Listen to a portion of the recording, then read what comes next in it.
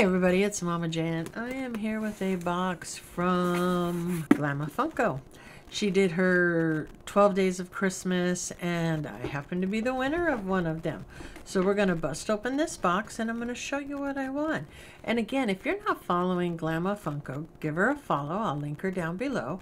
She's an amazing member of the community, and you know somebody's amazing when everybody has something good to say about her.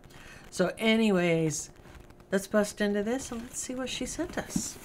All right, so let's go ahead and open this up and I can show you guys what I got. All right, so these are five stars, which are, are these made by Funko? I don't even know if these are made. Oh yeah, these are a Funko item. They're not Dorbz. They're like, I don't know if they came out like about the same time Dorbz did, but I like the five stars. So there's that one. That was Lock. This one is Barrel. I mean, they're adorable. These really are adorable. This one is Jack Skellington.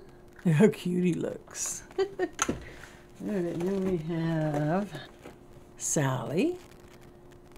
See how cute they are? And they come with little accessories and everything. They're adorable. And like this, you can do it like this. And when you open it up, that's when you get to see everything else. Then we have Shock. There was a note on the bottom, but that's because I opened things upside down. And then we got a little Groot and Rocket, which this is adorable. Look at this. Bobblers. this right here is adorable. All right, it says, congratulations on winning one of Glamma's 12 Days of Christmas.